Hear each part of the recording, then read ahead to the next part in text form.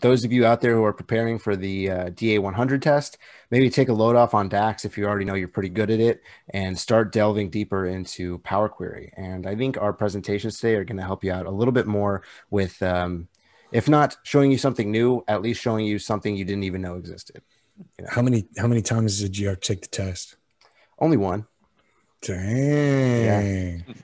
that's like a that's like a humble brag. It's like a flex. yes, exactly. I mean, luckily as a Microsoft certified trainer, I got that sweet discount too. So nice. Very nice.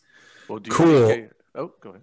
No, well, you, I was just think, say cool. So, do you think an experienced, um, you know, Power BI developer who's maybe been working with the tool for two years, could they just come in off the street, take it cold without preparing for the test, and possibly pass? They I'd may not some, get they may not get as high of a score as you got, but would they pass? I'd say someone with two years of experience in a pinch could walk in off the street, but they'd be looking at a you know right there on the cusp of passing, uh, only due to the fact that there's a lot of a lot more tricky questions. But you know, if you are coming in off the street taking the uh, Excel and Power BI tests from the old era, then you know you might be a little thrown off by some of the uh, trickiness in the questions. Um, it's just a pretty good idea to um, prep yourself on what you don't do on a daily basis rather than relying on your knowledge from your daily activity. Well, and just like you were saying before, with like any of these Microsoft tests, especially anymore, they kind of go through these ebbs and flows where they're like, they want people to get certified. So it feels like the tests aren't that hard.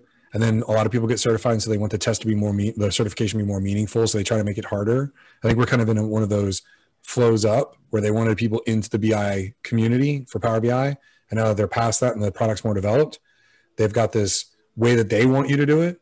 Right. Yes. It was like when I started back in the day with Active Directory, like you could get away with a certain answer, right? Like you could probably, like you were saying with some of the Power Query stuff, you could potentially solve the problem in one of three or four ways, but there is a more Microsoft approved yes, exactly. way of doing it, right? Which you're only going to get through studying.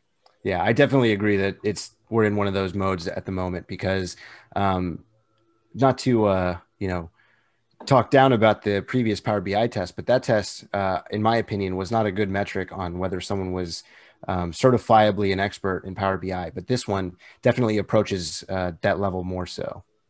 Yeah, and I and I just remember too from from the that first test was that was when Power BI had like eight buttons you could click. Exactly. like it wasn't much going on with the. They're product. definitely delving deeper into the iceberg of Power BI with this test. Awesome. Cool. All right. Well, so it sounds like study, know your stuff, right? You're not just going to be able to come in and kill it. And uh, if you can go out and try to find some brain dumps, some other things, just be prepared because there's some there's some things out there that are gonna gonna try to trick you up. Mm-hmm and apparently focus on uh, Power Query and data modeling, not as uh, not as heavy on the DAX. That's interesting. Yes, that was a, a large thing that I took away from it was that you know if you're if you're uh, someone who's very confident with DAX, you could probably uh, just deal with the test that way as long as you know every variation of the common functions. Do they ask you to like code in it, or is it just multiple choice? You know, it's funny. I always imagine that I'm going to walk in and have to freehand write some DAX questions, but real, mm-hmm. really what it is is fill in the blank with a, a bank of uh, functions. So you have the skeleton of a DAX measure, and you just got to put the functions in the right place. So there's a lot of deductive reasoning that you can kind of uh, rely on because you know if you know only one of these functions has three parameters, and you see three parameters there, then you know what the root function is going to be. So that makes sense.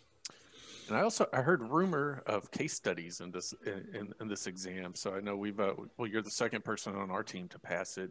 Um, any any any advice for people that are you know take this test and don't expect to see a case study? Yeah, maybe talk about the structure of the case study, what it's like. So the case studies are very interesting. Um, uh, our team, you know, we both took the the test. We both went through the case studies. We discussed our answer, or you know, the questions we were given uh, between the two of us, and uh, there's quite a breadth of questions that you can receive in the case studies that are very similar. So the case studies start out by just explaining a business um, at a very high level, and then give you three or four requirement pages where you look at their data model, you look at uh, their data types, almost like a data dictionary, and then they offer some business analysis where you know different departments require some require uh, require some specific things for visuals and the way the data needs to be structured. And then finally they present you with the questions where you have to take each one of those considerations and provide them with the best answer. And although our colleague um, was able to uh, get through it with a little bit of uh, friction my questions i found were way easier uh, on a whole to uh, his answers uh, that he ans- the answers he had to come up with. Um, some of the things was setting up a relationship for a func for a measure that would use inactive relationships, and you know the answer was pretty um, solid due to the fact that it was a data type question. But um, a comparable question that our colleague got was much more in depth about how you would create a measure that uses specific functions. So realistically, um, I the the warning I'd give to people is the way you are trying to be tricked in the earlier parts of the test, you can kind of take a step back from that and it's a little bit more concrete. They're relying on your expertise for these specific questions.